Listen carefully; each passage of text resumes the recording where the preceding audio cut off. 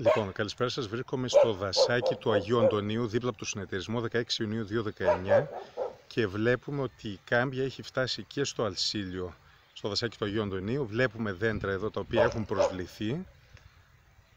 Πρέπει να κοπούν απευθείας. Εδώ είναι προς το συνεταιρισμό η κατεύθυνση, στο κιόσκι.